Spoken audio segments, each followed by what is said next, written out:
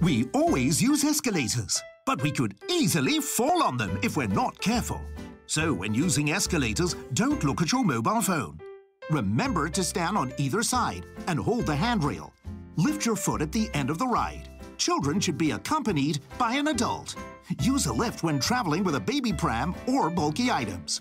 The Electrical and Mechanical Services Department reminds you, little things matter. Be careful when riding escalators.